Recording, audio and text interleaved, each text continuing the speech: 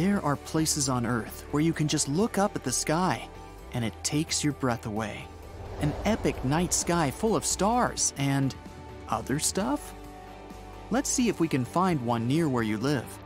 The Natural Bridges National Monument in Utah would be a great place to start. The Rhön Biosphere Reserve in Germany is pretty good too. Then there's the Iriomote Ishigaki National Park in Japan. And there's always Cherry Springs State Park in Pennsylvania. Get this the stars you see when you gaze up might not be there anymore. That's because some stars are so far away, their light takes years to reach us. Take Deneb, for example. Deneb's light took nearly 3,000 years to reach us, so the light we're seeing is actually 3,000 years old. Closer to home, flying around in space, asteroids. These clunky pieces of rock come in all shapes and sizes.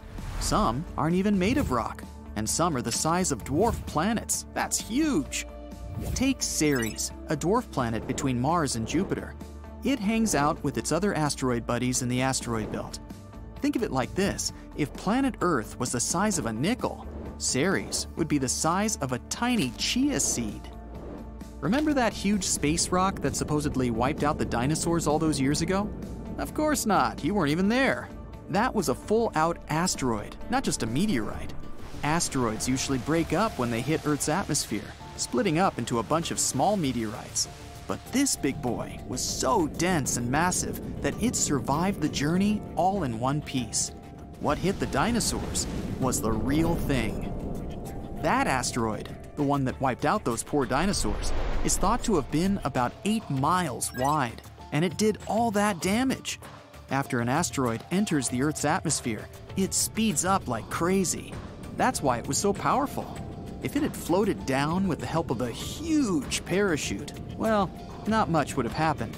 And today, we might even have dinosaurs as pets. Or worse, they might be our overlords. Don't worry, most asteroids are pretty well behaved, sitting nicely in that huge ring between Mars and Jupiter, just like our dwarf planet buddy, Ceres. There are more than 200 massive asteroids in the ring, but asteroids come in all shapes and sizes, and we can't ignore the little ones. They need love too. And there are a lot of them. They're not even that little. Around a million of these baby asteroids are about half a mile long, and millions more are even smaller. There are cases of asteroids coming pretty close to Earth, and that's definitely something we want to avoid. They might be interesting and fun to watch, but they could cause serious problems if they crashed into us. So, what could we do? Basically, just observe and report. Scientists track any asteroids near Earth and try to predict their journey through our solar system.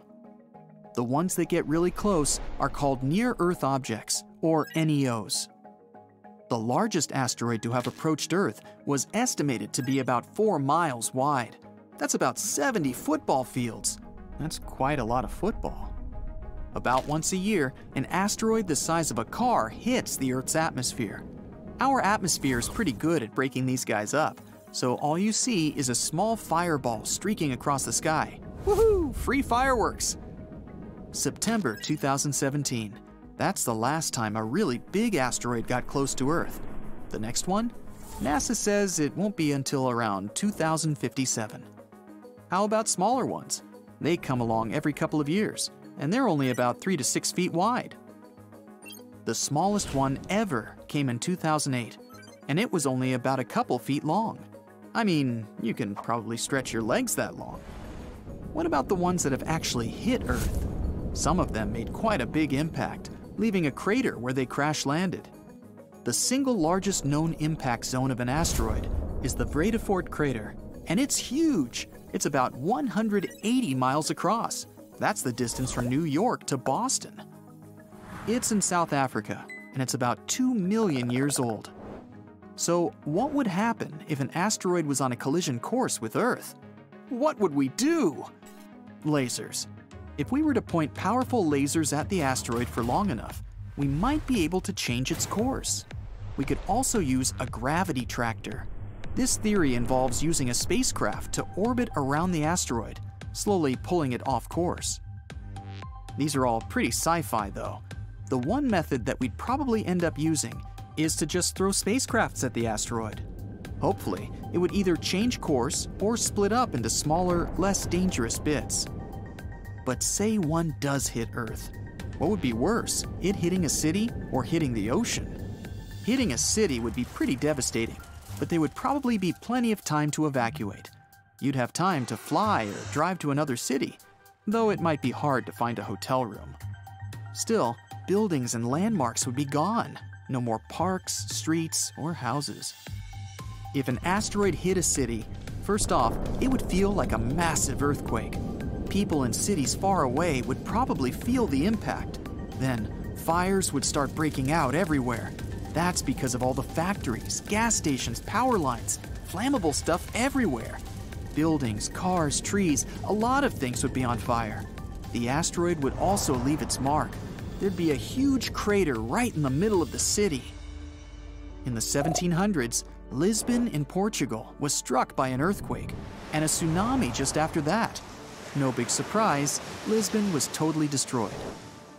It took ages for them to completely rebuild the city, but after the makeover, the city was better than ever. It had wider streets, more businesses, and the city got a brand new image. After that earthquake, Lisbon rose up again and was better than ever. So, if an asteroid ever hit a modern city, we could definitely learn from its example and build a better one. Imagine this a futuristic and eco friendly city. A city with lots of green spaces, bike lanes wide enough for everyone, skyscrapers that disappear out of sight, roads so perfect there wouldn't be any traffic, sidewalks that would actually be fun to walk on, a place for businesses to thrive and jobs for everyone, a city powered only by renewable energy, and loads of good vibes from its citizens. We might even have crazy new things we'd never seen before. How about getting to work or school on a zip line? Or a huge underground mall that goes on for miles and miles? Or how about see through bridges and tunnels? that would be awesome. Maybe I could finally get everything delivered to me by drone, or somehow never have to take the trash out ever again. Worst case scenario, it could be turned into a sanctuary for wildlife. Let nature run its course and have wild animals live there, free and happy. In just a few years, the whole place would be green and full of life. Animals do pretty well once all us humans move out. If it hit the ocean, though, unless it was near the shore, the damage would be minimal. The water would absorb most of the energy from the impact. It's like throwing a rock into a pond.